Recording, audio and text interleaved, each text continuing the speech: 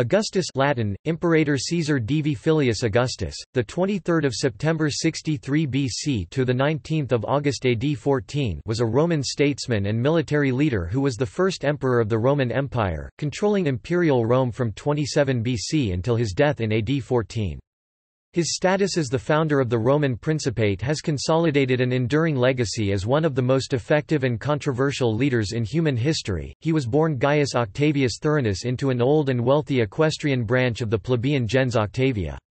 His maternal great-uncle Julius Caesar was assassinated in 44 BC, and Octavius was named in Caesar's will as his adopted son and heir. Along with Mark Antony and Marcus Lepidus, he formed the Second Triumvirate to defeat the assassins of Caesar. Following their victory at the Battle of Philippi, the triumvirate divided the Roman Republic among themselves and ruled as military dictators. The triumvirate was eventually torn apart by the competing ambitions of its members. Lepidus was driven into exile and stripped of his position, and Antony committed suicide following his defeat at the Battle of Actium by Octavian in 31 BC. After the demise of the Second Triumvirate, Augustus restored the outward facade of the Free Republic, with governmental power vested in the Roman Senate, the executive magistrates, and the legislative assemblies. In reality, however, he retained his autocratic power over the Republic as a military dictator. By law, Augustus held a collection of powers granted to him for life by the Senate, including supreme military command, and those of tribune and censor. It took several years for Augustus to develop the framework within which a formally republican state could be led under his sole rule. He rejected monarchical titles, and instead called himself princeps civitatis, first citizen of the state. The resulting constitutional framework became known as the Principate, the first phase of the Roman Empire. The reign of Augustus initiated an era of relative peace known as the Pax Romana. The Roman world was largely free from large-scale conflict for more than two centuries, despite continuous wars of imperial expansion on the empire's frontiers and the year-long civil war known as the Year of the Four Emperors over the imperial succession. Augustus dramatically enlarged the empire, annexing Egypt, Dalmatia, Pannonia, Noricum, and Raetia, expanding possessions in Africa, and completing the conquest of Hispania, but suffered a major setback in Germania. Beyond the frontiers, he secured the empire with a buffer region of client states and made peace with the Parthian Empire through diplomacy. He reformed the Roman system of taxation, developed networks of roads with an official courier system, established a standing army, established the Praetorian Guard, created official police and fire-fighting services for Rome, and rebuilt much of the city during his reign. Augustus died in AD 14 at the age of 75, probably from natural causes. However, there were unconfirmed rumors that his wife Livia poisoned him. He was succeeded as emperor by his adopted son also stepson and former son-in-law Tiberius.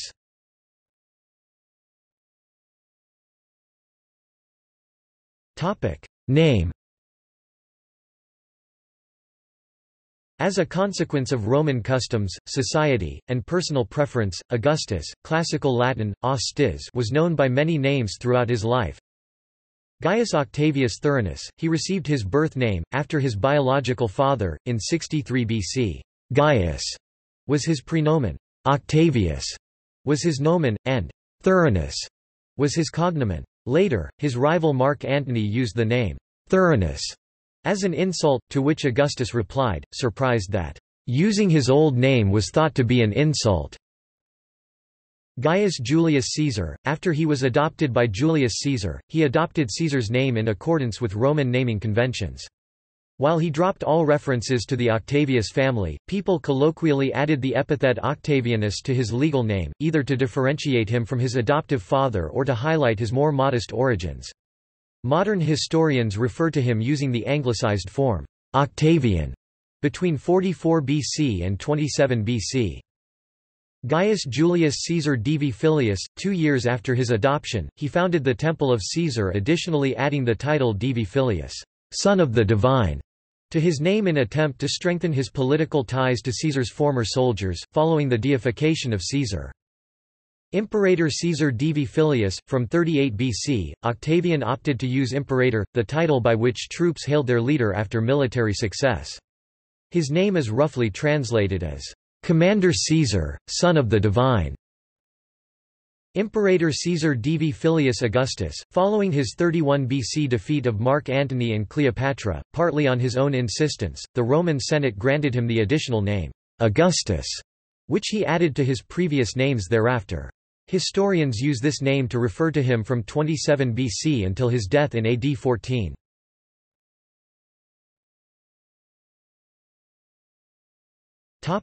Early life While his paternal family was from the town of Velletri, approximately 40 kilometers (25 miles) from Rome, Augustus was born in the city of Rome on the 23rd of September 63 BC. He was born at Oxhead, a small property on the Palatine Hill, very close to the Roman Forum. He was given the name Gaius Octavius Thurinus, his cognomen possibly commemorating his father's victory at Thurii over a rebellious band of slaves. Suetonius wrote, there are many indications that the Octavian family was in days of old a distinguished one at Velitrae, for not only was a street in the most frequented part of town long ago called Octavian, but an altar was shown there besides, consecrated by an Octavius. This man was leader in a war with a neighboring town. Due to the crowded nature of Rome at the time, Octavius was taken to his father's home village at Velitrae to be raised. Octavius only mentions his father's equestrian family briefly in his memoirs. His paternal great-grandfather Gaius Octavius was a military tribune in Sicily during the Second Punic War. His grandfather had served in several local political offices. His father, also named Gaius Octavius, had been governor of Macedonia. His mother, Atia, was the niece of Julius Caesar. In 59 BC, when he was four years old, his father died. His mother married a former governor of Syria, Lucius Marcius Philippus. Philippus claimed descent from Alexander the Great, and was elected consul in 56 BC. Philippus never had much of an interest in young Octavius. Because of this, Octavius was raised by his grandmother, Julia, the sister of Julius Caesar. Julia died in 52 or 51 BC, and Octavius delivered the funeral oration for his grandmother. From this point, his mother and stepfather took a more active role in raising him. He donned the toga virilis four years later, and was elected to the College of Pontiffs in 47 BC. The following year he was put in charge of the Greek games that were staged in honor of the Temple of Venus Genetrix, built by Julius Caesar. According to Nicolaus of Damascus, Octavius wished to join Caesar's staff for his campaign in Africa, but gave way when his mother protested. In 46 BC, she consented for him to join Caesar in Hispania, where he planned to fight the forces of Pompey, Caesar's late enemy, but Octavius fell ill and was unable to travel. When he had recovered, he sailed to the front, but was shipwrecked. After coming ashore with a handful of companions, he crossed hostile territory to Caesar's camp, which impressed his great uncle considerably. Velleius Paterculus reports that after that time, Caesar allowed the young man to share his carriage. When back in Rome, Caesar deposited a new will with the Vestal Virgins, naming Octavius as the prime beneficiary.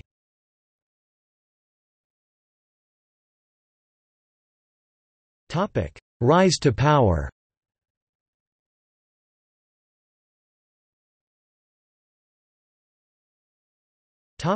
Heir to Caesar Octavius was studying and undergoing military training in Apollonia, Illyria, when Julius Caesar was killed on the Ides of March, the 15th of March, 44 BC. He rejected the advice of some army officers to take refuge with the troops in Macedonia and sailed to Italy to ascertain whether he had any potential political fortunes or security. Caesar had no living legitimate children under Roman law, and so had adopted Octavius, his grand-nephew, making him his primary heir. Mark Antony later charged that Octavian had earned his adoption by Caesar through sexual favors, though Suetonius describes Antony's accusation as political slander. After landing at Lupiae near Brundisium, Octavius learned the contents of Caesar's will, and only then did he decide to become Caesar's political heir as well as heir to two-thirds of his estate. Upon his adoption, Octavius assumed his great-uncle's name Gaius Julius Caesar. Roman citizens adopted into a new family usually retained their old nomen in cognomen form e.g., Octavianus for one who had been an Octavius, Aemilianus for one who had been an Aemilius, etc. However, though some of his contemporaries did, there is no evidence that Octavius ever himself officially used the name Octavianus, as it would have made his modest origins too obvious. Historians usually refer to the new Caesar as Octavian during the time between his adoption and his assumption of the name Augustus in 27 BC in order to avoid confusing the dead dictator with his heir. Octavian could not rely on his limited funds to make a successful entry into the upper echelons of the Roman political hierarchy. After a warm welcome by Caesar's soldiers at Brundisium, Octavian demanded a portion of the funds that were allotted by Caesar for the intended war against the Parthian Empire in the Middle East. This amounted to 700 million sesterces stored at Brundisium, the staging ground in Italy for military operations in the east. A later senatorial investigation into the disappearance of the public funds took no action against Octavian, since he subsequently used that money to raise troops against the Senate's arch-enemy Mark Antony. Octavian made another bold move in 44 BC when, without official permission, he appropriated the annual tribute that had been sent from Rome's Near Eastern province to Italy. Octavian began to bolster his personal forces with Caesar's veteran legionaries and with troops designated for the Parthian War, gathering support by emphasizing his status as heir to Caesar. On his march to Rome through Italy, Octavian's presence and newly acquired funds attracted many, winning over Caesar's former veterans stationed in Campania. By June, he had gathered an army of 3,000 loyal veterans, paying each a salary of 500 denarii.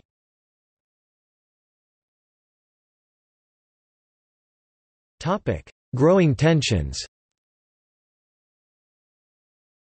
Arriving in Rome on 6 May 44 BC, Octavian found consul Mark Antony, Caesar's former colleague, in an uneasy truce with the dictator's assassins.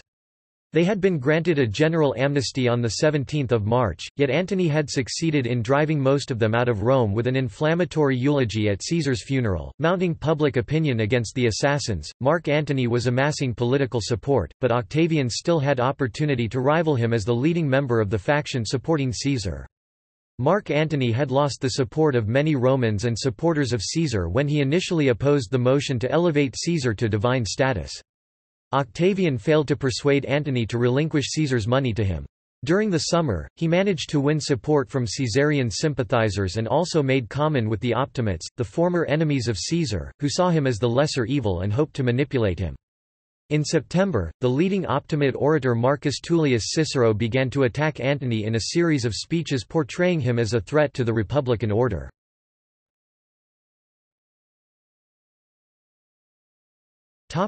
First conflict with Antony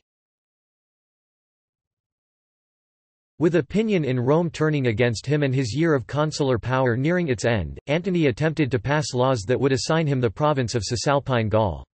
Octavian meanwhile built up a private army in Italy by recruiting Caesarian veterans and, on 28 November, he won over two of Antony's legions with the enticing offer of monetary gain. In the face of Octavian's large and capable force, Antony saw the danger of staying in Rome and, to the relief of the Senate, he left Rome for Cisalpine Gaul, which was to be handed to him on 1 January. However, the province had earlier been assigned to Decimus Junius Brutus Albinus, one of Caesar's assassins, who now refused to yield to Antony. Antony besieged him at Mutina and rejected the resolutions passed by the Senate to stop the fighting. The Senate had no army to enforce their resolutions. This provided an opportunity for Octavian, who already was known to have armed forces.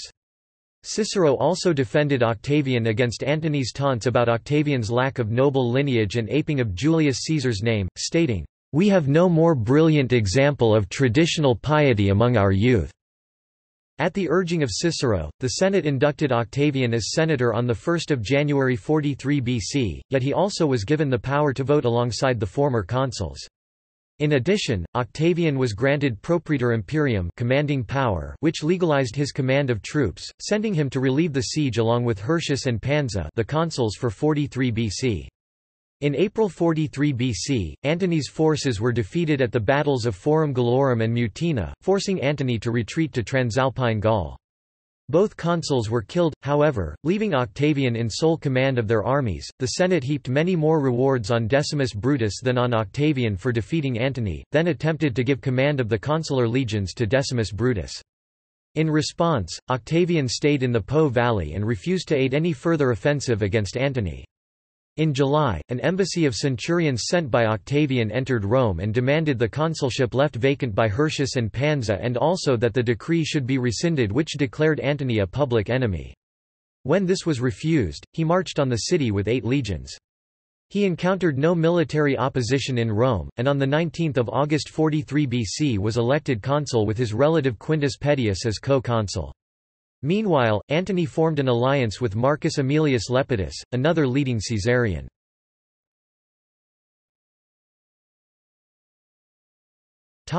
Second triumvirate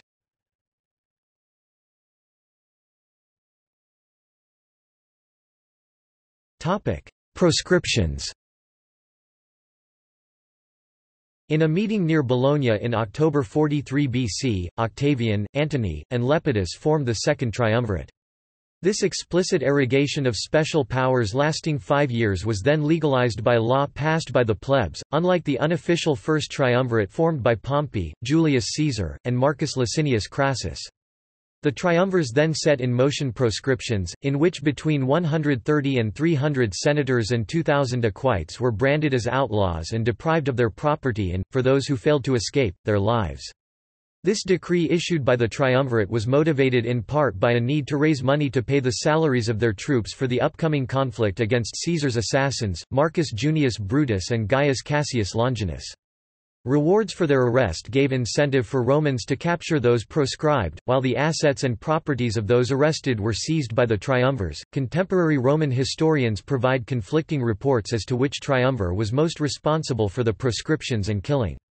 However, the sources agree that enacting the proscriptions was a means by all three factions to eliminate political enemies. Marcus Velleius Paterculus asserted that Octavian tried to avoid proscribing officials whereas Lepidus and Antony were to blame for initiating them. Cassius Dio defended Octavian as trying to spare as many as possible, whereas Antony and Lepidus, being older and involved in politics longer, had many more enemies to deal with. This claim was rejected by Appian, who maintained that Octavian shared an equal interest with Lepidus and Antony in eradicating his enemies. Suetonius said that Octavian was reluctant to proscribe officials, but did pursue his enemies with more vigor than the other triumvirs. Plutarch described the proscriptions as a ruthless and cutthroat swapping of friends and family among Antony, Lepidus, and Octavian. For example, Octavian allowed the proscription of his ally Cicero, Antony the proscription of his maternal uncle Lucius Julius Caesar the consul of 64 BC, and Lepidus his brother Paulus.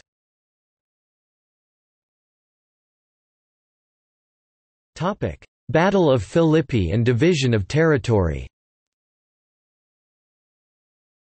On 1 January 42 BC, the Senate posthumously recognized Julius Caesar as a divinity of the Roman state, Divus Iulius. Octavian was able to further his cause by emphasizing the fact that he was Divi Filius, son of the divine. Antony and Octavian then sent 28 legions by sea to face the armies of Brutus and Cassius, who had built their base of power in Greece. After two battles at Philippi in Macedonia in October 42, the Caesarian army was victorious and Brutus and Cassius committed suicide. Mark Antony later used the examples of these battles as a means to belittle Octavian, as both battles were decisively won with the use of Antony's forces. In addition to claiming responsibility for both victories, Antony also branded Octavian as a coward for handing over his direct military control to Marcus Vipsanius Agrippa instead. After Philippi, a new territorial arrangement was made among the members of the Second Triumvirate. Gaul and the province of Hispania were placed in the hands of Octavian. Antony travelled east to Egypt where he allied himself with Queen Cleopatra VII, the former lover of Julius Caesar and mother of Caesar's infant son Caesarion. Lepidus was left with the province of Africa, stymied by Antony, who conceded Hispania to Octavian instead. Octavian was left to decide where in Italy to settle the tens of thousands of veterans of the Macedonian campaign, whom the triumvirs had promised to discharge. The tens of thousands who had fought on the Republican side with Brutus and Cassius could easily ally with a political opponent of Octavian if not appeased, and they also required land. There was no more government-controlled land to allot as settlements for their soldiers, so Octavian had to choose one of two options, alienating many Roman citizens by confiscating their land, or alienating many Roman soldiers who could mount a considerable opposition against him in the Roman heartland. Octavian chose the former. There were as many as 18 Roman towns affected by the new settlements, with entire populations driven out or at least given partial evictions. Topic: Rebellion and marriage alliances.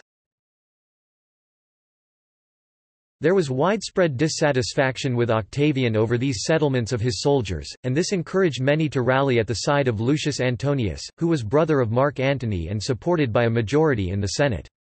Meanwhile, Octavian asked for a divorce from Clodia Pulchra, the daughter of Fulvia Mark Antony's wife and her first husband Publius Clodius Pulcher. He returned Clodia to her mother, claiming that their marriage had never been consummated. Fulvia decided to take action. Together with Lucius Antonius, she raised an army in Italy to fight for Antony's rights against Octavian. Lucius and Fulvia took a political and martial gamble in opposing Octavian, however, since the Roman army still depended on the triumvirs for their salaries. Lucius and his allies ended up in a defensive siege at Perusia modern Perugia, where Octavian forced them into surrender in early 40 BC. Lucius and his army were spared, due to his kinship with Antony, the strongman of the east, while Fulvia was exiled to Sicyon. Octavian showed no mercy, however, for the mass of allies loyal to Lucius. On 15 March, the anniversary of Julius Caesar's assassination, he had 300 Roman senators and equestrians executed for allying with Lucius. Perusia also was pillaged and burned as a warning for others. This bloody event sullied Octavian's reputation and was criticized by many, such as Augustan poet Sextus Propertius, Sextus Pompeius, the son of Pompey and still a renegade general following Julius Caesar's victory over his father, had established himself in Sicily and Sardinia as part of an agreement reached with the Second Triumvirate in 39 BC. Both Antony and Octavian were vying for an alliance with Pompeius. Octavian succeeded in a temporary alliance in 40 BC when he married Scribonia, a sister or daughter of Lucius Scribonius Libo, who was father-in-law to Pompeius. Scribonia gave birth to Octavian's only natural child, Julia, who was born the same day that he divorced her to marry Livia Drusilla, little more than a year after their marriage. While in Egypt, Antony had been engaged in an affair with Cleopatra and had fathered three children with her. Aware of his deteriorating relationship with Octavian, Antony left Cleopatra. He sailed to Italy in 40 BC with a large force to oppose Octavian, laying siege to Brundisium. This new conflict proved untenable for both Octavian and Antony, however. Their centurions, who had become important figures politically, refused to fight due to their Caesarian cause, while the legions under their command followed suit. Meanwhile, in Sicyon, Antony's wife Fulvia died of a sudden illness while Antony was en route to meet her.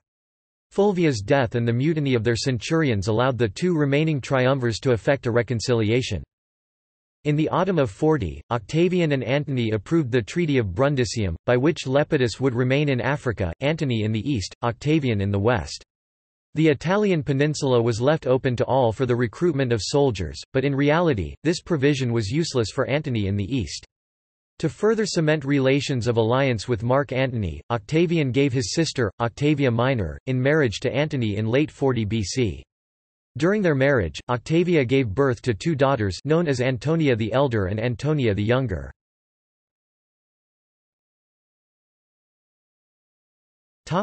War with Pompeius Sextus Pompeius threatened Octavian in Italy by denying shipments of grain through the Mediterranean Sea to the peninsula. Pompeius' own son was put in charge as naval commander in the effort to cause widespread famine in Italy. Pompeius' control over the sea prompted him to take on the name Neptuni Filius, son of Neptune. A temporary peace agreement was reached in 39 BC with the Treaty of Misenum. The blockade on Italy was lifted once Octavian granted Pompeius Sardinia, Corsica, Sicily, and the Peloponnese, and ensured him a future position as consul for 35 BC. The territorial agreement between the triumvirate and Sextus Pompeius began to crumble once Octavian divorced Scribonia and married Livia on 17 January 38 BC. One of Pompeius' naval commanders betrayed him and handed over Corsica and Sardinia to Octavian. Octavian lacked the resources to confront Pompeius alone, however, so an agreement was reached with the Second Triumvirate's extension for another five-year period beginning in 37 BC in supporting Octavian. Antony expected to gain support for his own campaign against the Parthian Empire, desiring to avenge Rome's defeat at Carrhae in 53 BC. In an agreement reached at Tarentum, Antony provided 120 ships for Octavian to use against Pompeius, while Octavian was to send 20,000 legionaries to Antony for use against Parthia. Octavian sent only a tenth of those promised, however, which Antony viewed as an intentional provocation. Octavian and Lepidus launched a joint operation against Sextus in Sicily in 36 BC. Despite setbacks for Octavian, the naval fleet of Sextus Pompeius was almost entirely destroyed on 3 September by General Agrippa at the naval battle of Naulochus. Sextus fled to the east with his remaining forces, where he was captured and executed in Miletus by one of Antony's generals the following year. As Lepidus and Octavian accepted the surrender of Pompeius' troops, Lepidus attempted to claim Sicily for himself, ordering Octavian to leave. Lepidus' troops deserted him, however, and defected to Octavian since they were weary of fighting and were enticed by Octavian's promises of money. Lepidus surrendered to Octavian and was permitted to retain the office of Pontifex Maximus, head of the College of Priests, but was ejected from the triumvirate, his public career at an end, and effectively was exiled to a villa at Cape Circe in Italy. The Roman dominions were now divided between Octavian in the west and Antony in the east. Octavian ensured Rome's citizens of their rights to property in order to maintain peace and stability in his portion of the empire. This time, he settled his discharged soldiers outside of Italy, while also returning 30,000 slaves to their former Roman owners—slaves who had fled to join Pompeius' army and navy. Octavian had the Senate grant him, his wife, and his sister tribunal immunity, or sacrosanctitas, in order to ensure his own safety and that of Livia and Octavia once he returned to Rome.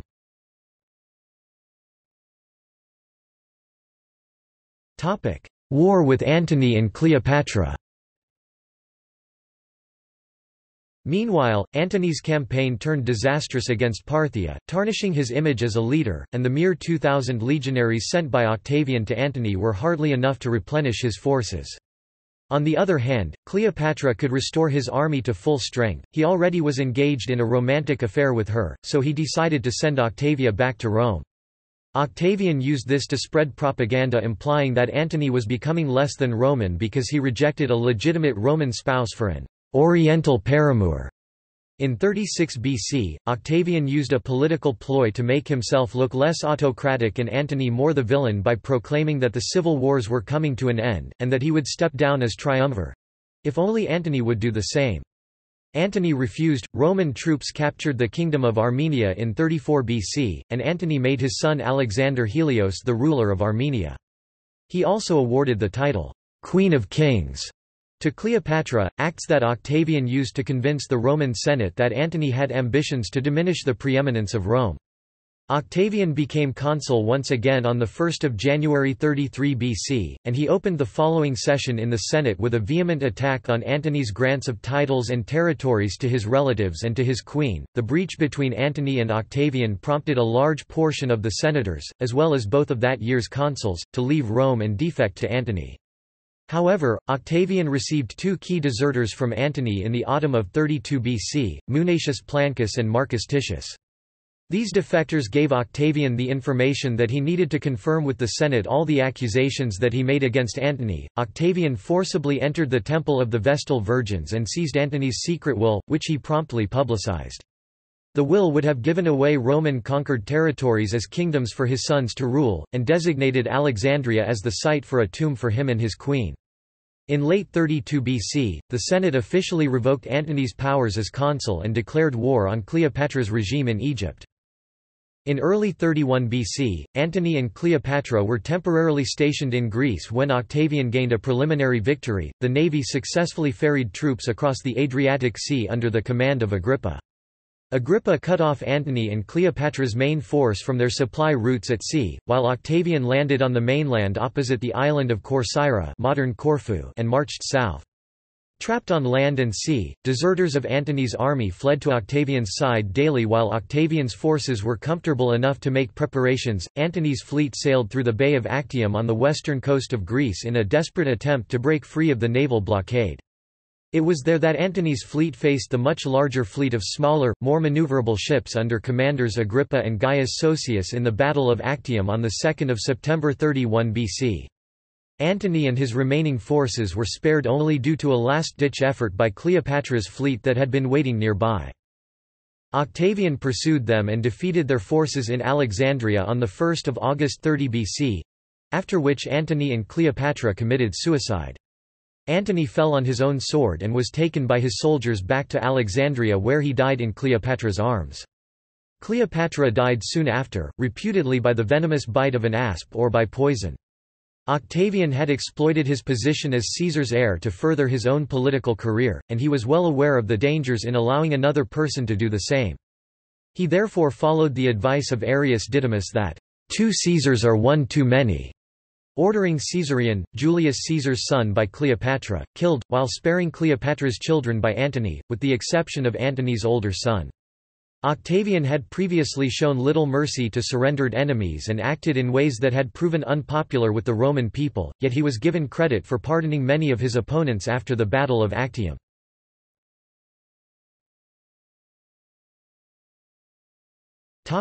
Sole ruler of Rome After Actium and the defeat of Antony and Cleopatra, Octavian was in a position to rule the entire republic under an unofficial principate, but he had to achieve this through incremental power gains. He did so by courting the Senate and the people while upholding the republican traditions of Rome, appearing that he was not aspiring to dictatorship or monarchy. Marching into Rome, Octavian and Marcus Agrippa were elected as dual consuls by the Senate. Years of civil war had left Rome in a state of near lawlessness, but the Republic was not prepared to accept the control of Octavian as a despot. At the same time, Octavian could not simply give up his authority without risking further civil wars among the Roman generals and, even if he desired no position of authority whatsoever, his position demanded that he look to the well-being of the city of Rome and the Roman provinces. Octavian's aims from this point forward were to return Rome to a state of stability, traditional legality, and civility by lifting the overt political pressure imposed on the courts of law and ensuring free elections—in name at least.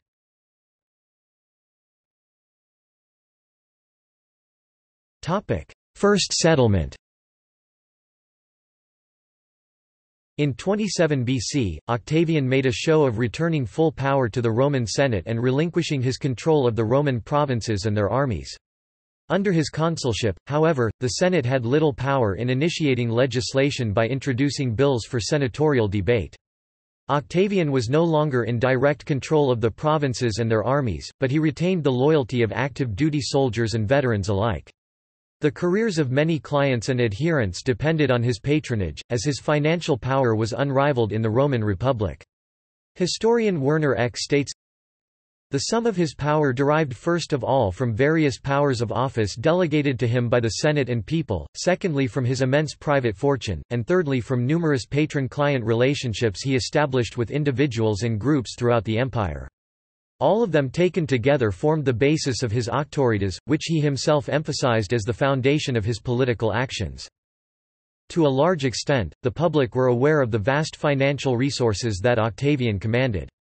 He failed to encourage enough senators to finance the building and maintenance of networks of roads in Italy in 20 BC, but he undertook direct responsibility for them.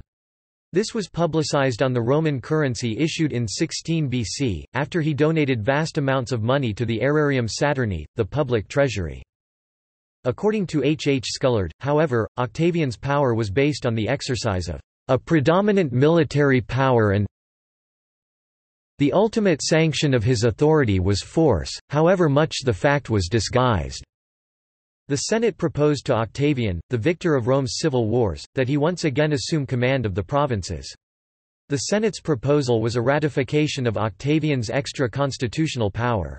Through the Senate, Octavian was able to continue the appearance of a still functional constitution.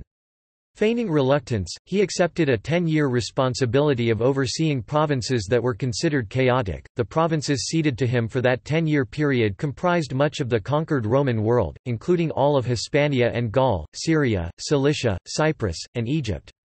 Moreover, command of these provinces provided Octavian with control over the majority of Rome's legions. While Octavian acted as consul in Rome, he dispatched senators to the provinces under his command as his representatives to manage provincial affairs and ensure that his orders were carried out.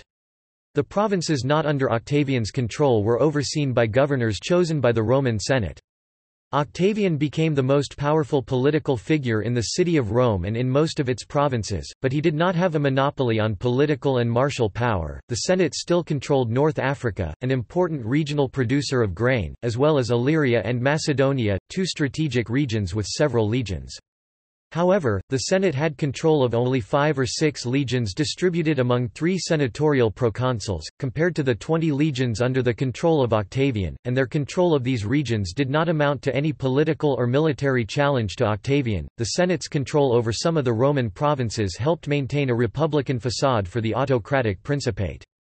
Also, Octavian's control of entire provinces followed Republican-era precedents for the objective of securing peace and creating stability, in which such prominent Romans as Pompey had been granted similar military powers in times of crisis and instability.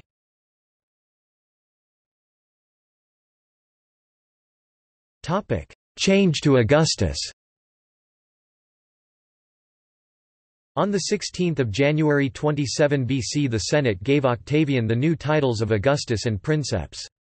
Augustus is from the Latin word augere meaning to increase and can be translated as the illustrious one.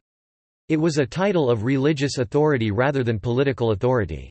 According to Roman religious beliefs, the title symbolized a stamp of authority over humanity—and in fact nature—that went beyond any constitutional definition of his status.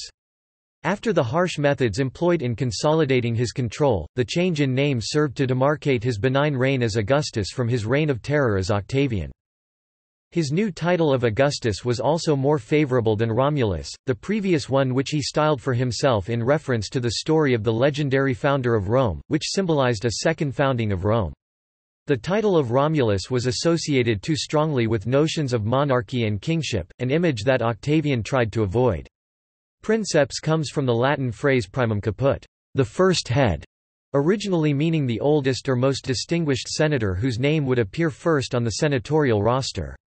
In the case of Augustus, however, it became an almost regnal title for a leader who was first in charge. Princeps had also been a title under the Republic for those who had served the state well, for example, Pompey had held the title. Augustus also styled himself as Imperator Caesar Divi Filius. Commander Caesar son of the deified one. With this title, he boasted his familial link to deified Julius Caesar, and the use of imperator signified a permanent link to the Roman tradition of victory. The word Caesar was merely a cognomen for one branch of the Julian family, yet Augustus transformed Caesar into a new family line that began with him. Augustus was granted the right to hang the corona civica above his door, the civic crown, made from oak, and to have laurels drape his doorposts. This crown was usually held above the head of a Roman general during a triumph, with the individual holding the crown charged to continually repeat to the general, memento mori, or remember that you are mortal. Additionally, laurel wreaths were important in several state ceremonies, and crowns of laurel were rewarded to champions of athletic, racing, and dramatic contests. Thus, both the laurel and the oak were integral symbols of Roman religion and statecraft. Placing them on Augustus' doorposts was tantamount to declaring his home the capital. However, Augustus renounced flaunting insignia of power such as holding a scepter, wearing a diadem, or wearing the golden crown and purple toga of his predecessor Julius Caesar. If he refused to symbolize his power by donning and bearing these items on his person, the Senate nonetheless awarded him with a golden shield displayed in the meeting hall of the Curia, bearing the inscription Virtus, Pietas, Clementia, Justitia valor, piety, clemency, and justice.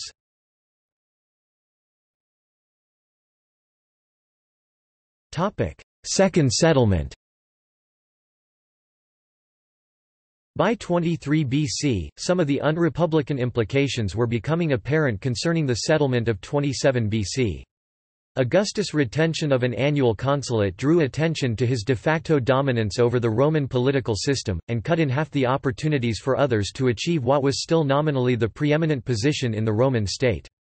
Further, he was causing political problems by desiring to have his nephew Marcus Claudius Marcellus follow in his footsteps and eventually assume the principate in his turn, alienating his three greatest supporters, Agrippa, Maecenas, and Livia. Feeling pressure from his core group of adherents, Augustus turned to the Senate for help. He appointed noted Republican Calpurnius Piso as co-consul in 23 BC, after his choice Aulus Terentius Varro Murena who had fought against Julius Caesar and supported Cassius and Brutus was executed in consequence of his involvement in the Marcus Primus affair, with an eye to bolstering his support among the Republicans.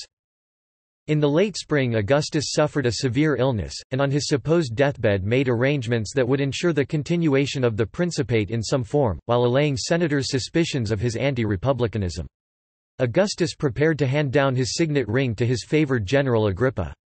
However, Augustus handed over to his co-consul Piso all of his official documents, an account of public finances, and authority over listed troops in the provinces while Augustus' supposedly favored nephew Marcellus came away empty-handed. This was a surprise to many who believed Augustus would have named an heir to his position as an unofficial emperor. Augustus bestowed only properties and possessions to his designated heirs, as an obvious system of institutionalized imperial inheritance would have provoked resistance and hostility among the republican-minded Romans fearful of monarchy. With regards to the Principate, it was obvious to Augustus that Marcellus was not ready to take on his position. Nonetheless, by giving his signet ring to Agrippa, Augustus intended to signal to the legions that Agrippa was to be his successor, and that constitutional procedure notwithstanding, they should continue to obey Agrippa. Soon after his bout of illness subsided, Augustus gave up his consulship. The only other times Augustus would serve as consul would be in the years 5 and 2 BC, both times to introduce his grandsons into public life. This was a clever ploy by Augustus, ceasing to serve as one of two annually elected consuls allowed aspiring senators a better chance to attain the consular position, while allowing Augustus to exercise wider patronage within the senatorial class. Although Augustus had resigned as consul, he desired to retain his consular imperium not just in his provinces but throughout the empire. This desire, as well as the Marcus Primus affair, led to a second compromise between him and the Senate known as the Second Settlement.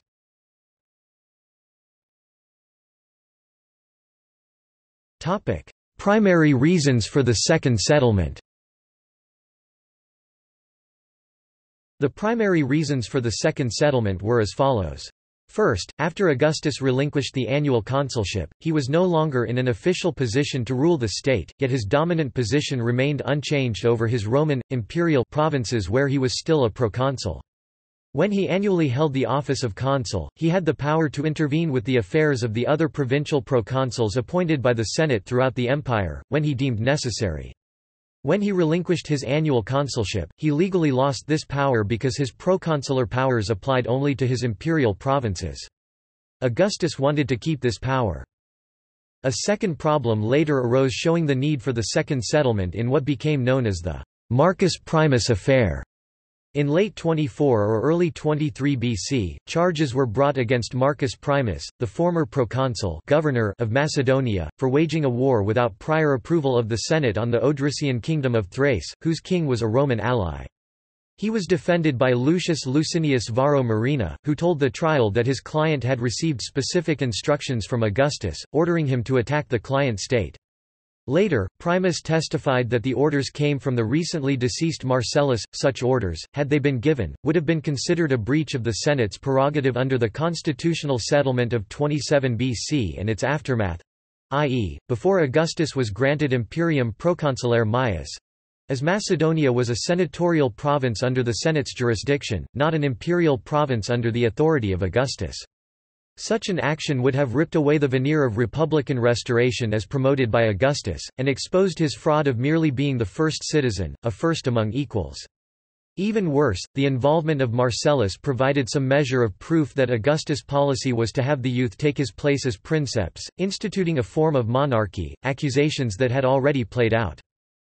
The situation was so serious that Augustus himself appeared at the trial, even though he had not been called as a witness.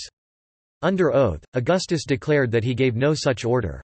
Murena disbelieved Augustus' testimony and resented his attempt to subvert the trial by using his auctoritas. He rudely demanded to know why Augustus had turned up to a trial to which he had not been called. Augustus replied that he came in the public interest. Although Primus was found guilty, some jurors voted to acquit, meaning that not everybody believed Augustus' testimony, an insult to the August 1. The second constitutional settlement was completed in part to allay confusion and formalize Augustus' legal authority to intervene in senatorial provinces. The Senate granted Augustus a form of general imperium proconsulare, or proconsular imperium power that applied throughout the empire, not solely to his provinces.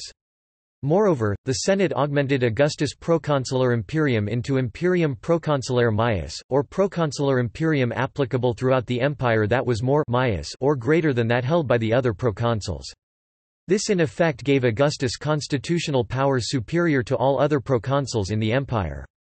Augustus stayed in Rome during the renewal process and provided veterans with lavish donations to gain their support, thereby ensuring that his status of proconsular imperium Maius was renewed in 13 BC.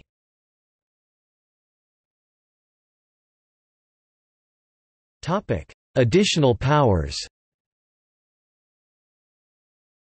During the Second Settlement, Augustus was also granted the power of a tribune tribunitia potestas for life, though not the official title of tribune.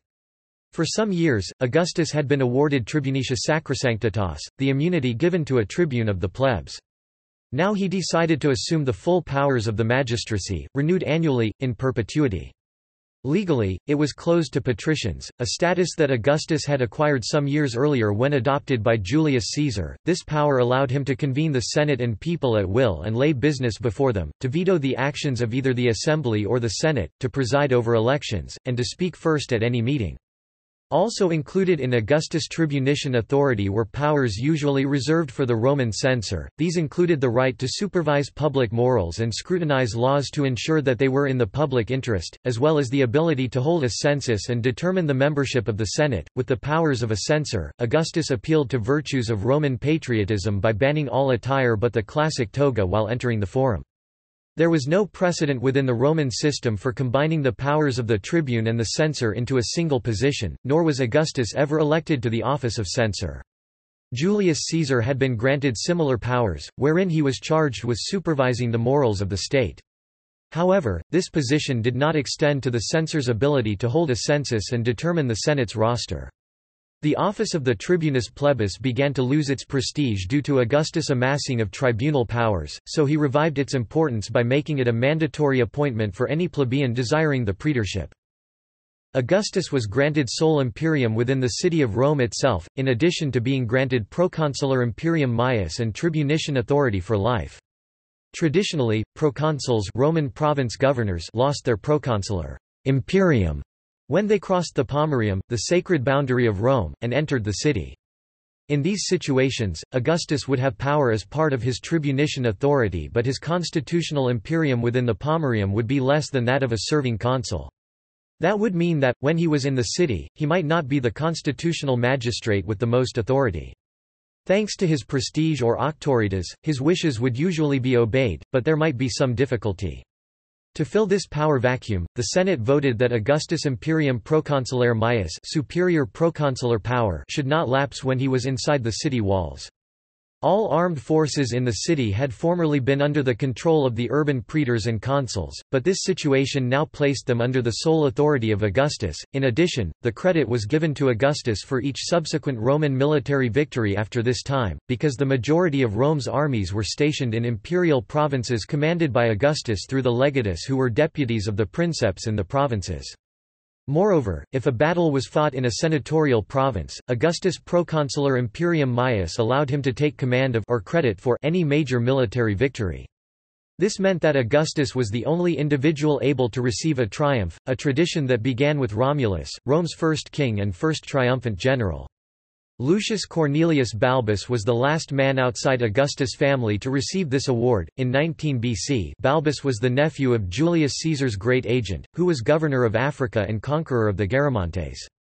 Tiberius, Augustus' eldest son by marriage to Livia, was the only other general to receive a triumph for victories in Germania in 7 BC.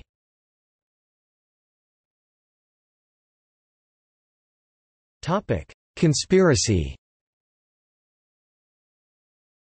Many of the political subtleties of the Second Settlement seem to have evaded the comprehension of the plebeian class, who were Augustus' greatest supporters and clientele. This caused them to insist upon Augustus' participation in imperial affairs from time to time. Augustus failed to stand for election as consul in 22 BC, and fears arose once again that he was being forced from power by the aristocratic Senate. In 22, 21, and 19 BC, the people rioted in response, and only allowed a single consul to be elected for each of those years, ostensibly to leave the other position open for Augustus. Likewise, there was a food shortage in Rome in 22 BC which sparked panic, while many urban plebs called for Augustus to take on dictatorial powers to personally oversee the crisis. After a theatrical display of refusal before the Senate, Augustus finally accepted authority over Rome's grain supply by virtue of his proconsular imperium, and ended the crisis almost immediately. It was not until AD 8 that a food crisis of this sort prompted Augustus to establish a praefectus annonae, a permanent prefect who was in charge of procuring food supplies for Rome. There were some who were concerned by the expansion of powers granted to Augustus by the Second Settlement, and this came to a head with the apparent conspiracy of Fannius Caepio. Some time prior to 1 September 22 BC, a certain Castricius provided Augustus with information about a conspiracy led by Fannius Caepio. Murena was named among the conspirators, the outspoken consul who defended Primus in the Marcus Primus affair. The conspirators were tried in absentia with Tiberius acting as prosecutor, the jury found them guilty, but it was not a unanimous verdict. All the accused were sentenced to death for treason and executed as soon as they were captured, without ever giving testimony in their defense. Augustus ensured that the facade of republican government continued with an effective cover-up of the events. In 19 BC, the Senate granted Augustus a form of general consular imperium, which was probably imperium consulare maius's, like the proconsular powers that he received in 23 BC. Like his tribune authority, the consular powers were another instance of gaining power from offices that he did not actually hold. In addition, Augustus was allowed to wear the consul's insignia in public and before the Senate, as well as to sit in the symbolic chair between the two consuls and hold the fasces, an emblem of consular authority. This seems to have assuaged the populace, regardless of whether or not Augustus was a consul, the importance was that he both appeared as one before the people and could exercise consular power if necessary. On 6 March 12 BC, after the death of Lepidus, he additionally took up the position of Pontifex Maximus, the high priest of the College of the Pontiffs, the most important position in Roman religion. On 5 February 2 BC, Augustus was also given the title Pater Patriae, or Father of the Country.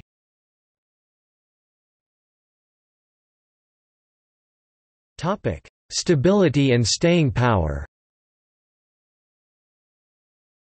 A final reason for the second settlement was to give the Principate constitutional stability and staying power in case something happened to Princeps Augustus. His illness of early 23 BC and the Caepio conspiracy showed that the regime's existence hung by the thin thread of the life of one man, Augustus himself, who suffered from several severe and dangerous illnesses throughout his life. If he were to die from natural causes or fall victim to assassination, Rome could be subjected to another round of civil war. The memories of Pharsalus, the Ides of March, the proscriptions, Philippi, and Actium, barely 25 years distant, were still vivid in the minds of many citizens. Proconsular imperium was conferred upon Agrippa for five years, similar to Augustus' power, in order to accomplish this constitutional stability.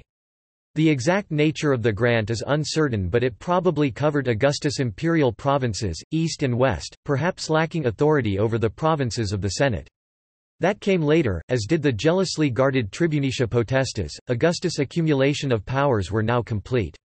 In fact, he dated his reign from the completion of the Second Settlement, 1 July 23 BC. Almost as importantly, the Principate now had constitutional stability.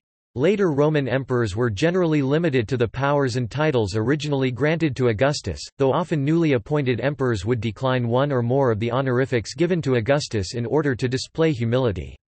Just as often, as their reigns progressed, emperors would appropriate all of the titles, regardless of whether they had been granted them by the Senate.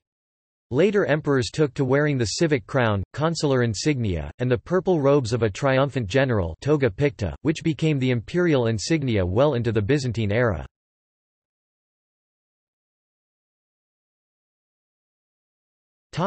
War and expansion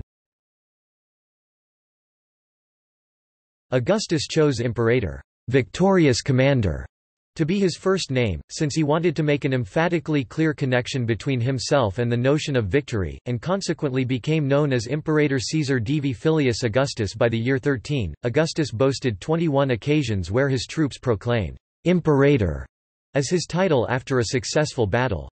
Almost the entire fourth chapter in his publicly released memoirs of achievements known as the Res Gestae was devoted to his military victories and honors. Augustus also promoted the ideal of a superior Roman civilization with a task of ruling the world to the extent to which the Romans knew it, a sentiment embodied in words that the contemporary poet Virgil attributes to a legendary ancestor of Augustus, tu regere imperio populos, Roman, memento. Roman, remember by your strength to rule the earth's peoples. The impulse for expansionism was apparently prominent among all classes at Rome, and it is accorded divine sanction by Virgil's Jupiter in Book 1 of the Aeneid, where Jupiter promises Rome imperium sine fine, sovereignty without end. By the end of his reign, the armies of Augustus had conquered northern Hispania modern Spain and Portugal and the Alpine regions of Raetia and Noricum modern Switzerland, Bavaria, Austria, Slovenia, Illyricum and Pannonia modern Albania, Croatia, Hungary, Serbia, etc., and had extended the borders of the Africa province to the east and south. Judea was added to the province of Syria when Augustus deposed Herod Archelaus, successor to client King Herod the Great 73 BC. Syria like Egypt after Antony was governed by a high prefect of the equestrian class rather than by a proconsul or legate of Augustus. Again, no military effort was needed in 25 BC when Galatia modern Turkey was converted to a Roman province shortly after Amyntas of Galatia was killed by an avenging widow of a slain prince from Homenada. The rebellious tribes of Asturias and Cantabria in modern-day Spain were finally quelled in 19 BC, and the territory fell under the provinces of Hispania and Lusitania. This region proved to be a major asset in funding Augustus' future military campaigns, as it was rich in mineral deposits that could be fostered in Roman mining projects, especially the very rich gold deposits at Las Médulas. Conquering the peoples of the Alps in 16 BC was another important victory for Rome, since it provided a large territorial buffer between the Roman citizens of Italy and Rome's enemies in Germania to the north. Horace dedicated an ode to the victory, while the monument trophy of Augustus near Monaco was built to honor the occasion. The capture of the Alpine region also served the next offensive in 12 BC, when Tiberius began the offensive against the Pannonian tribes of Illyricum, and his brother Nero Claudius Drusus moved against the Germanic tribes of the eastern Rhineland. Both campaigns were successful, as Drusus' forces reached the Elbe River by 9 BC—though he died shortly after by falling off his horse. It was recorded that the pious Tiberius walked in front of his brother's body all the way back to Rome. To protect Rome's eastern territories from the Parthian Empire, Augustus relied on the client states of the east to act as territorial buffers and areas that could raise their own troops for defense. To ensure security of the empire's eastern flank, Augustus stationed a Roman army in Syria, while his skilled stepson Tiberius negotiated with the Parthians as Rome's diplomat to the east. Tiberius was responsible for restoring Tigranes V to the throne of the Kingdom of Armenia. Yet arguably his greatest diplomatic achievement was negotiating with Phraates IV of Parthia 37 BC in 20 BC for the return of the battle standards lost by Crassus in the Battle of Carrhae, a symbolic victory and great boost of morale for Rome. Werner Eck claims that this was a great disappointment for Romans seeking to avenge Crassus' defeat by military means. However, Maria Brosius explains that Augustus used the return of the standards as propaganda symbolizing the submission of Parthia to Rome. The event was celebrated in art such as the breastplate design on the statue Augustus of Prima Porta and in monuments such as the Temple of Mars Ultor Mars the Avenger, built to house the standards. Parthia had always posed a threat to Rome in the east, but the real battlefront was along the Rhine and Danube rivers. Before the final fight with Antony, Octavian's campaigns against the tribes in Dalmatia were the first step in expanding Roman dominions to the Danube. Victory in battle was not always a permanent success, as newly conquered territories were constantly retaken by Rome's enemies in Germania. A prime example of Roman loss in battle was the Battle of Teutoburg Forest in AD 9, where three entire legions led by Publius Quinctilius Varus were destroyed by Arminius, leader of the Cherusci, an apparent Roman ally. Augustus retaliated by dispatching Tiberius and Drusus to the Rhineland to pacify it, which had some success although the Battle of AD 9 brought the end to Roman expansion into Germany. Roman general Germanicus took advantage of a Cherusci civil war between Arminius and Segestes. They defeated Arminius, who fled that battle but was killed later in 21 due to treachery.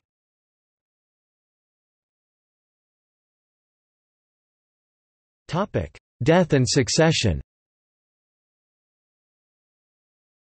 The illness of Augustus in 23 BC brought the problem of succession to the forefront of political issues and the public. To ensure stability, he needed to designate an heir to his unique position in Roman society and government. This was to be achieved in small, undramatic, and incremental ways that did not stir senatorial fears of monarchy. If someone was to succeed Augustus' unofficial position of power, he would have to earn it through his own publicly proven merits. Some Augustan historians argue that indications pointed toward his sister's son Marcellus, who had been quickly married to Augustus' daughter Julia the Elder. Other historians dispute this due to Augustus will being read aloud to the Senate while he was seriously ill in 23 BC, instead indicating a preference for Marcus Agrippa, who was Augustus' second in charge and arguably the only one of his associates who could have controlled the legions and held the empire together. After the death of Marcellus in 23 BC, Augustus married his daughter to Agrippa. This union produced five children, three sons and two daughters, Gaius Caesar, Lucius Caesar, Vipsania Julia, Agrippina the Elder, and Postumus Agrippa, so named because he was born after Marcus Agrippa died. Shortly after the Second Settlement, Agrippa was granted a five-year term of administering the eastern half of the empire with the imperium of a proconsul and the same tribunicia potestas granted to Augustus although not trumping Augustus' authority, his seat of governance stationed at Samos in the eastern Aegean. This granting of power showed Augustus' favor for Agrippa, but it was also a measure to please members of his Caesarian party by allowing one of their members to share a considerable amount of power with him. Augustus' intent became apparent to make Gaius and Lucius Caesar his heirs when he adopted them as his own children. He took the consulship in 5 and 2 BC so that he could personally usher them into their political careers, and they were nominated for the consulships of AD 1 and 4. Augustus also showed favor to his stepsons, Livia's children from her first marriage Nero Claudius Drusus Germanicus henceforth referred to as Drusus and Tiberius Claudius henceforth Tiberius, granting them military commands and public office, though seeming to favor Drusus. After Agrippa died in 12 BC, Tiberius was ordered to divorce his own wife Vipsania Agrippina and marry Agrippa's widow, Augustus' daughter Julia—as soon as a period of mourning for Agrippa had ended. Drusus' marriage to Antonia Minor was considered an unbreakable affair, whereas Vipsania was only the daughter of the late Agrippa from his first marriage. Tiberius shared in Augustus' tribune powers as of 6 BC, but shortly thereafter went into retirement, reportedly wanting no further role in politics while he exiled himself to Rhodes. No specific reason is known for his departure, though it could have been a combination of reasons, including a failing marriage with Julia, as well as a sense of envy and exclusion over Augustus' apparent favoring of his young grandchildren turned sons Gaius and Lucius. Gaius and Lucius joined the College of Priests at an early age, were presented to spectators in a more favorable light, and were introduced to the army in Gaul. After the early deaths of both Lucius and Gaius in AD 2 and 4 respectively, and the earlier death of his brother Drusus 9 BC, Tiberius was recalled to Rome in June AD 4, where he was adopted by Augustus on the condition that he, in turn, adopt his nephew Germanicus. This continued the tradition of presenting at least two generations of heirs. In that year, Tiberius was also granted the powers of a tribune and proconsul. Emissaries from foreign kings had to pay their respects to him, and by AD 13 was awarded with his second triumph an equal level of imperium with that of Augustus. The only other possible claimant as heir was Postumus Agrippa, who had been exiled by Augustus in AD 7, his banishment made permanent by senatorial decree, and Augustus officially disowned him. He certainly fell out of Augustus' favor as an heir. The historian Erich S. Gruen notes various contemporary sources that state Postumus Agrippa was a vulgar young man, brutal and brutish, and of depraved character. Postumus Agrippa was murdered at his place of exile either shortly before or after the death of Augustus. On 19 August AD 14, Augustus died while visiting Nola where his father had died. Both Tacitus and Cassius Dio wrote that Livia was rumored to have brought about Augustus' death by poisoning fresh figs. This element features in many modern works of historical fiction pertaining to Augustus' life, but some historians view it as likely to have been a salacious fabrication made by those who had favored Postumus as heir, or other of Tiberius' political enemies. Livia had long been the target of similar rumors of poisoning on the behalf of her son, most or all of which are unlikely to have been true. Alternatively, it is possible that Livia did supply a poisoned fig she did cultivate a variety of fig named for her that Augustus is said to have enjoyed, but did so as a means of assisted suicide rather than murder. Augustus' health had been in decline in the months immediately before his death, and he had made significant preparations for a smooth transition in power, having at last reluctantly settled on Tiberius as his choice of heir. It is likely that Augustus was not expected to return alive from Nola, but it seems that his health improved once there. It has therefore been speculated that Augustus and Livia conspired to end his life at the anticipated time, having committed all political process to accepting Tiberius. In order to not endanger that transition, Augustus' famous last words were, Have I played the part well? Then applaud as I exit. Referring to the play acting and regal authority that he had put on as emperor. Publicly, though, his last words were, "'Behold, I found Rome of clay, and leave her to you of marble." An enormous funerary procession of mourners travelled with Augustus' body from Nola to Rome, and on the day of his burial all public and private businesses closed for the day. Tiberius and his son Drusus delivered the eulogy while standing atop two rostra. Augustus' body was coffin-bound and cremated on a pyre close to his mausoleum. It was proclaimed that Augustus joined the company of the gods as a member of the Roman pantheon. The mausoleum was despoiled by the Goths in 410 during the sack of Rome, and his ashes were scattered. Historian DCA Shotter states that Augustus' policy of favoring the Julian family line over the Claudian might have afforded Tiberius sufficient cause to show open disdain for Augustus after the latter's death. Instead, Tiberius was always quick to rebuke those who criticized Augustus. Shotter suggests that Augustus' deification obliged Tiberius to suppress any open resentment that he might have harbored, coupled with Tiberius' extremely conservative attitude towards religion. Also, historian R. Shaw Smith points to letters of Augustus to Tiberius which display affection towards Tiberius and high regard for his military merits. Shotter states that Tiberius focused his anger and criticism on Gaius Asinius Gallus for marrying Vipsania after Augustus forced Tiberius to divorce her, as well as toward the two young Caesars, Gaius and Lucius—instead of Augustus, the real architect of his divorce and imperial demotion.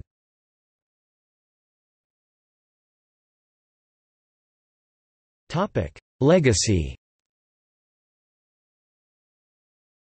Augustus' reign laid the foundations of a regime that lasted, in one form or another, for nearly 1500 years through the ultimate decline of the Western Roman Empire and until the fall of Constantinople in 1453. Both his adoptive surname, Caesar, and his title Augustus became the permanent titles of the rulers of the Roman Empire for 14 centuries after his death, in use both at Old Rome and at New Rome. In many languages, Caesar became the word for emperor, as in the German Kaiser and in the Bulgarian and subsequently Russian Tsar sometimes Csar or Tsar.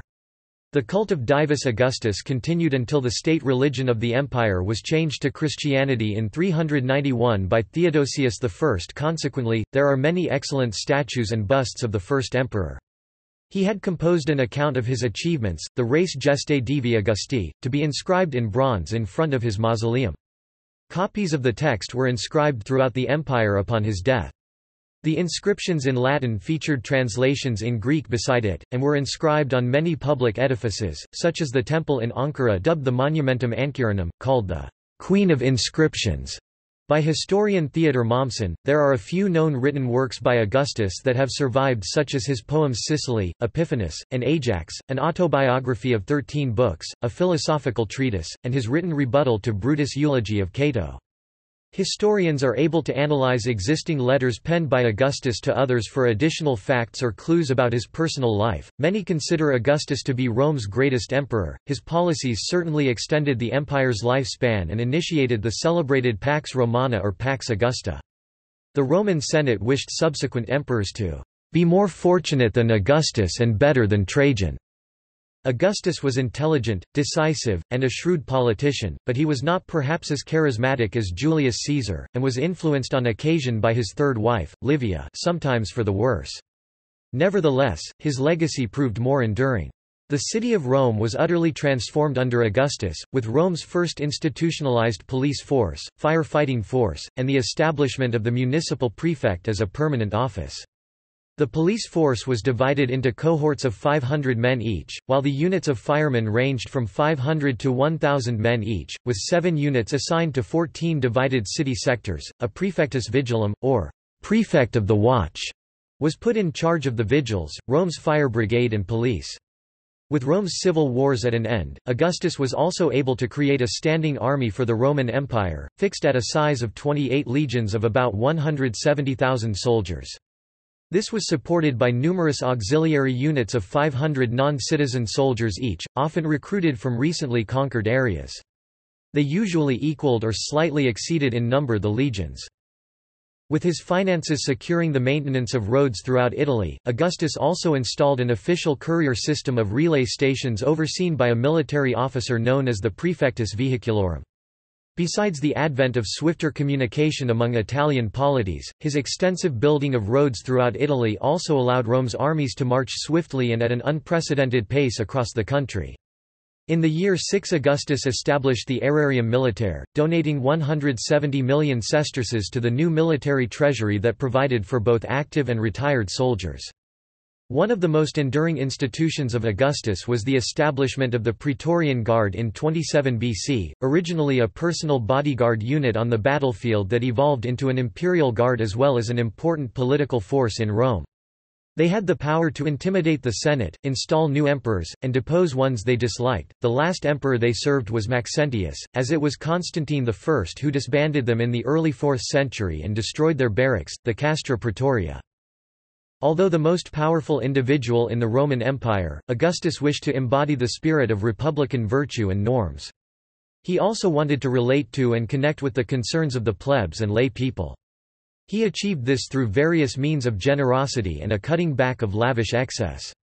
In the year 29 BC, Augustus gave 400 sesterces equal to one-tenth of a Roman pound of gold each to 250,000 citizens, 1,000 sesterces each to 120,000 veterans in the colonies, and spent 700 million sesterces in purchasing land for his soldiers to settle upon. He also restored 82 different temples to display his care for the Roman pantheon of deities. In 28 BC, he melted down 80 silver statues erected in his likeness and in honor of him, an attempt of his to appear frugal and modest. The longevity of Augustus' reign and its legacy to the Roman world should not be overlooked as a key factor in its success. As Tacitus wrote, the younger generations alive in AD 14 had never known any form of government other than the Principate. Had Augustus died earlier in 23 BC, for instance, matters might have turned out differently.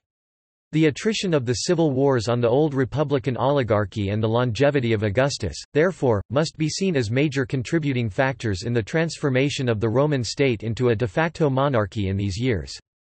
Augustus' own experience, his patience, his tact, and his political acumen also played their parts.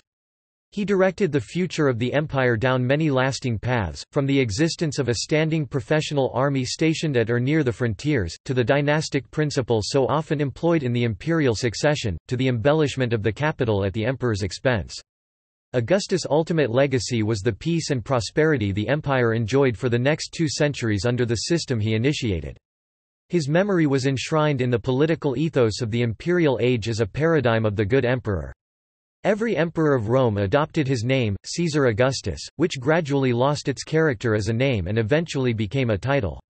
The Augustan-era poets Virgil and Horace praised Augustus as a defender of Rome, an upholder of moral justice, and an individual who bore the brunt of responsibility in maintaining the empire. However, for his rule of Rome and establishing the Principate, Augustus has also been subjected to criticism throughout the ages.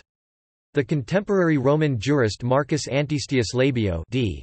AD 1011, fond of the days of pre-Augustan republican liberty in which he had been born, openly criticized the Augustan regime. In the beginning of his annals, the Roman historian Tacitus c. 56 c.117 wrote that Augustus had cunningly subverted republican Rome into a position of slavery. He continued to say that, with Augustus' death and swearing of loyalty to Tiberius, the people of Rome simply traded one slaveholder for another. Tacitus, however, records two contradictory but common views of Augustus. Intelligent people praised or criticized him in varying ways. One opinion was as follows. Filial duty in a national emergency, in which there was no place for law-abiding conduct, had driven him to civil war. And this can neither be initiated nor maintained by decent methods.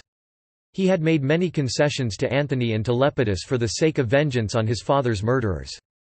When Lepidus grew old and lazy, and Antony's self-indulgence got the better of him, the only possible cure for the distracted country had been government by one man. However, Augustus had put the state in order not by making himself king or dictator, but by creating the Principate. The empire's frontiers were on the ocean, or distant rivers. Armies, provinces, fleets, the whole system was interrelated. Roman citizens were protected by the law.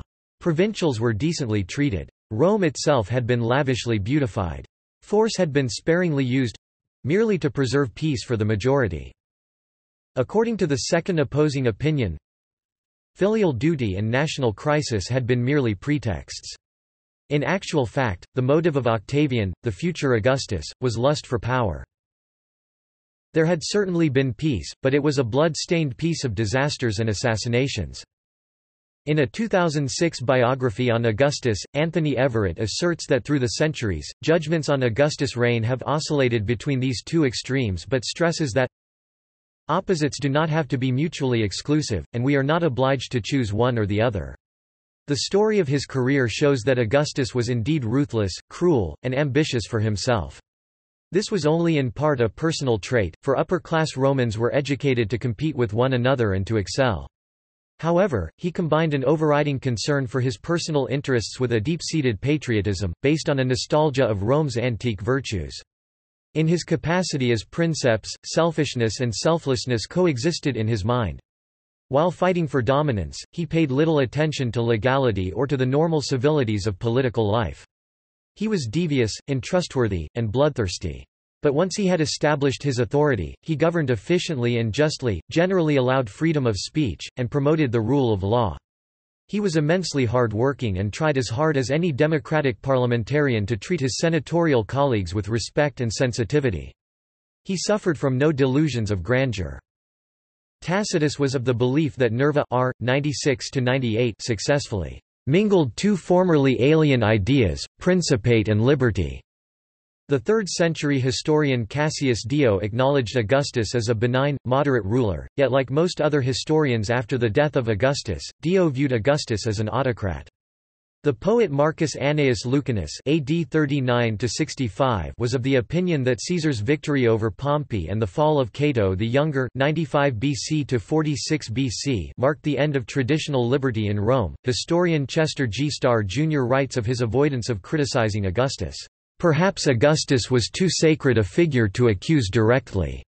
The Anglo-Irish writer Jonathan Swift (1667–1745), in his discourse on the contests and dissensions in Athens and Rome, criticized Augustus for installing tyranny over Rome, and likened what he believed Great Britain's virtuous constitutional monarchy to Rome's moral republic of the 2nd century BC. In his criticism of Augustus, the admiral and historian Thomas Gordon (1658–1741) compared Augustus to the puritanical tyrant Oliver Cromwell (1599–1658). Thomas Gordon and the French political philosopher Montesquieu (1689–1755) both remarked that Augustus was a coward in battle. In his Memoirs of the Court of Augustus, the Scottish scholar Thomas Blackwell (1701–1757) deemed Augustus a Machiavellian ruler, a bloodthirsty vindicative usurper, wicked and worthless, a mean spirit, and a tyrant.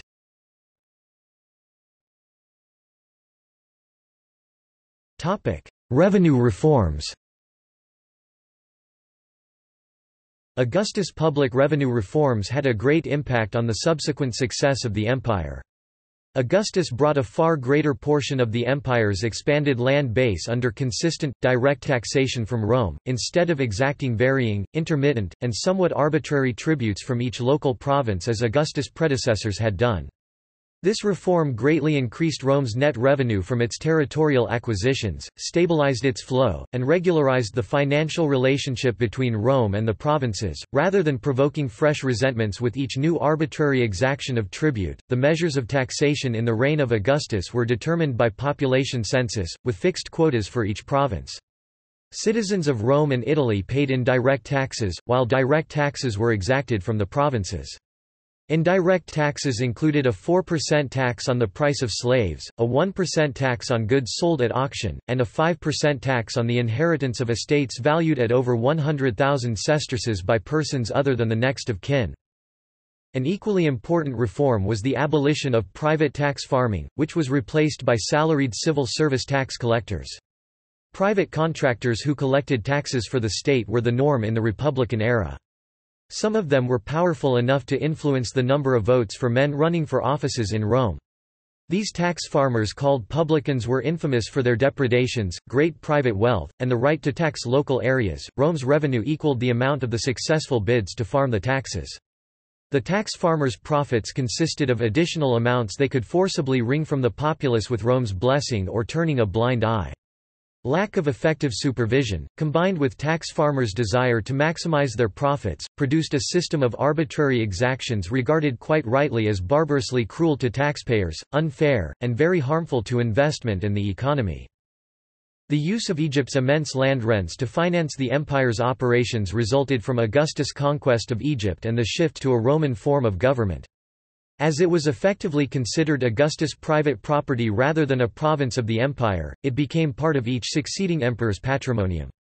Instead of a legate or proconsul, Augustus installed a prefect from the equestrian class to administer Egypt and maintain its lucrative seaports. This position became the highest political achievement for any equestrian besides becoming prefect of the Praetorian Guard.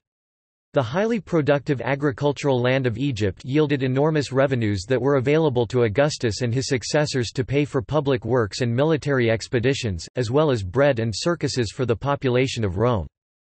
During his reign the circus games resulted in the killing of 3,500 elephants.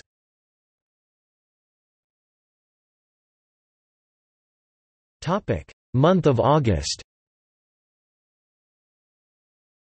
The month of August Latin, Augustus is named after Augustus, until his time it was called Sextilis named so because it had been the sixth month of the original Roman calendar and the Latin word for six is sex. Commonly repeated lore has it that August has 31 days because Augustus wanted his month to match the length of Julius Caesar's July, but this is an invention of the 13th-century scholar Johannes de Sacrobosco. Sextilis in fact had 31 days before it was renamed, and it was not chosen for its length see Julian calendar. According to a Senatus Consultum quoted by Macrobius, Sextilis was renamed to honor Augustus because several of the most significant events in his rise to power, culminating in the fall of Alexandria, fell in that month.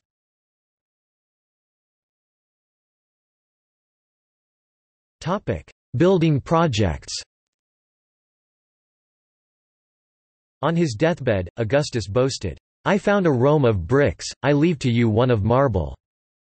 Although there is some truth in the literal meaning of this, Cassius Dio asserts that it was a metaphor for the empire's strength. Marble could be found in buildings of Rome before Augustus, but it was not extensively used as a building material until the reign of Augustus, although this did not apply to the Subura slums, which were still as rickety and fire-prone as ever. He did leave a mark on the monumental topography of the center and of the Campus Martius, with the Ara Pacis altar of peace and monumental sundial, whose central gnomon was an obelisk taken from Egypt. The relief sculptures decorating the Ara Pacis visually augmented the written record of Augustus' triumphs in the Res Gestae. Its reliefs depicted the imperial pageants of the Praetorians, the Vestals, and the citizenry of Rome. He also built the Temple of Caesar, the Baths of Agrippa, and the Forum of Augustus with its Temple of Mars Ultor. Other projects were either encouraged by him, such as the Theatre of Balbus, and Agrippa's construction of the Pantheon, or funded by him in the name of others, often relations e.g. Portico of Octavia, theatre of Marcellus. Even his mausoleum of Augustus was built before his death to house members of his family. To celebrate his victory at the Battle of Actium, the Arch of Augustus was built in 29 BC near the entrance of the Temple of Castor and Pollux, and widened in 19 BC to include a triple arch design. There are also many buildings outside of the city of Rome that bear Augustus' name and legacy, such as the Theatre of Merida in modern Spain, the Maison Carrée built at Nimes in today's southern France, as well as the Trophy of Augustus at La Turbie, located near Monaco. After the death of Agrippa in 12 BC, a solution had to be found in maintaining Rome's water supply system. This came about because it was overseen by Agrippa when he served as aedile, and was even funded by him afterwards when he was a private citizen paying at his own expense. In that year, Augustus arranged a system where the Senate designated three of its members as prime commissioners in charge of the water supply and to ensure that Rome's aqueducts did not fall into disrepair. In the late Augustan era, the commission of five senators called the Curatores Locorum Publicorum Iudicandorum translated as supervisors of public property was put in charge of maintaining public buildings and temples of the state cult. Augustus created the senatorial group of the curators Viarum translated as supervisors for roads. For the upkeep of roads, this senatorial commission worked with local officials and contractors to organize regular repairs. The Corinthian order of architectural style originating from ancient Greece was the dominant architectural style in the age of Augustus and the imperial phase of Rome. Suetonius once commented that Rome was unworthy of its status as an imperial capital, yet Augustus and Agrippa set out to dismantle this sentiment by transforming the appearance of Rome upon the classical Greek model.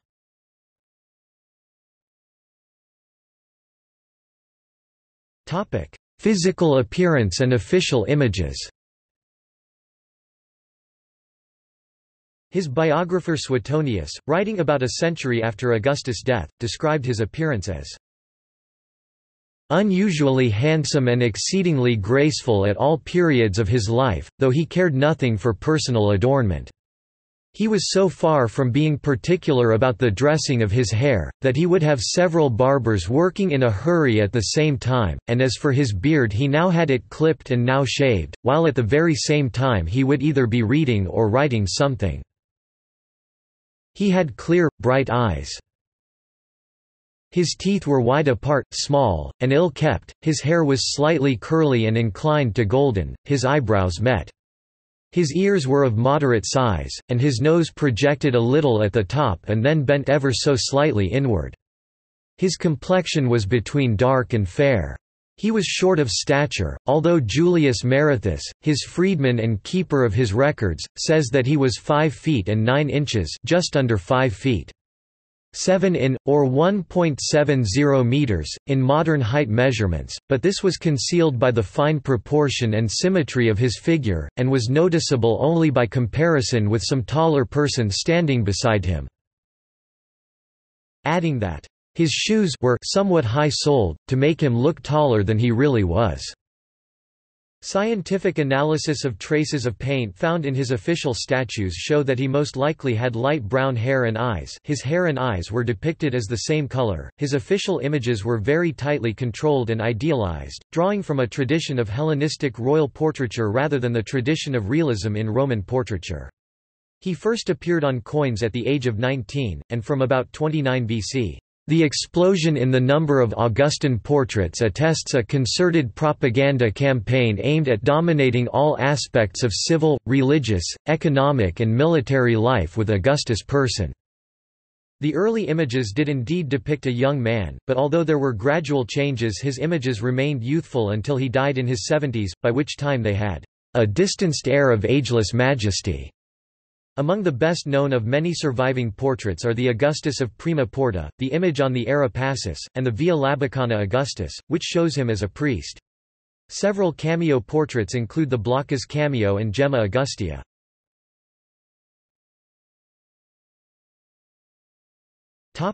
Ancestry